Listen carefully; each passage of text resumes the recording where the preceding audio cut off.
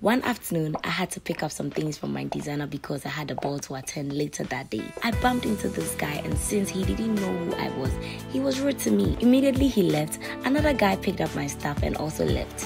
It was love at first sight. I wanted to meet him again, so I did my homework, and little did I know, he plays the piano at the hotel. I had the ball. I knew I had to put up a show. I needed something that speaks class elegance and glamour, and that thing was hair extension made with 100% Kanekalon fiber, as found in Ultra and Darling.